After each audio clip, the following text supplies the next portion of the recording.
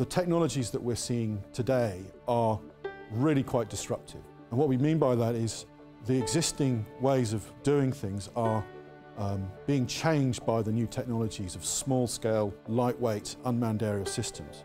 The applications are across many sectors and all those applications have a massive impact into how operators carry out their tasks. It changes the business models, it makes things incredibly cheaper. From the perspective of the RAS SIG, they need to, in a sense, be given a bit of a leg up and understand in government how to embrace these technologies in a safe way.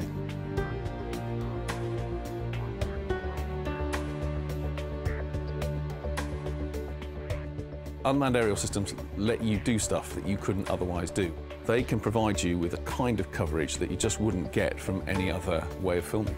The key is to know when to use it to use it in situations where it's appropriate, not to try and get it to try and do what a full-size helicopter could probably do much more appropriately.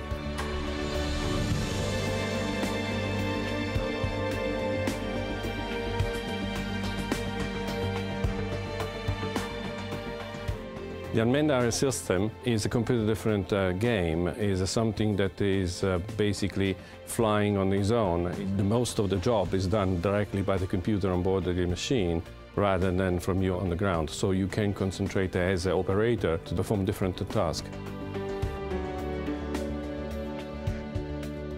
Overall aim of what we're doing is development of next generation technologies for UAV mission management applications. We don't solder anymore. Everything's plug and play on these.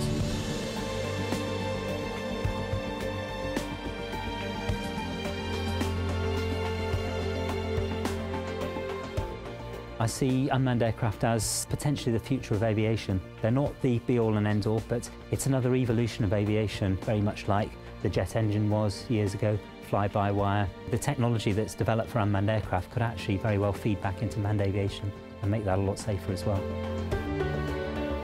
These sorts of technologies really do change the game. They introduce new opportunities, but far more efficiently and at great less cost.